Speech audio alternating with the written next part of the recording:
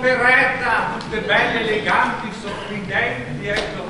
E invece io sono qui a Napoli in mezzo della gente che quando parla non si capisce una parola, oh ma io torno indietro, torno indietro a chi? Uè, giovanotto. Uè. Che sei l'americano. Ah certo, beh, so, più o meno. Ecco. Ah, io proprio gli americani sto cercando.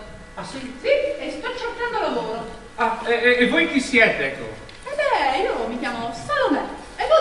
Vabbè, io mi presento, ecco. Mi chiamo Bisletti Francesco Franceschino Felliti Bicecchino per la mia mamma, per gli americani sono chic. Si scrive chic, ma si legge chic, eh.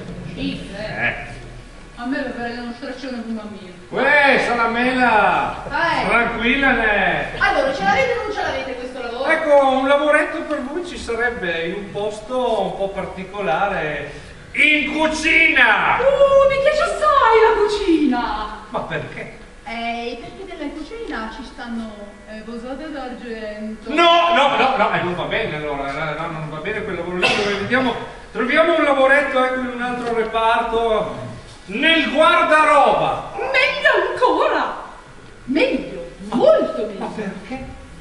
Perché nel guardaroba ci stanno e pellicce visone. No, scusate signorina, ma questo gesto non erano le posate d'argento? E giovanotto, concentrazione. Chiste sono le posate d'argento. Eh. E chiste sono le pellicce visone. Ah, ho capito, siete furbetti. Ecco, sentiamo, sentiamo, ecco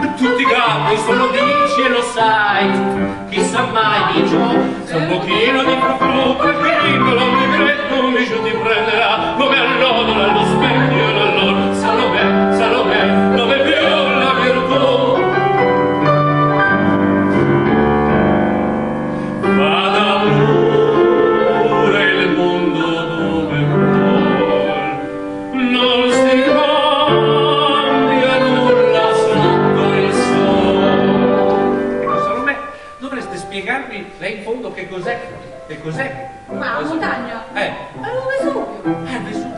E, e quello là di fianco, ecco cos'è. Ci sta un mare. Ah, ma- no, ma quella robettina là intorno. ecco. Ah, una mezza! Ma-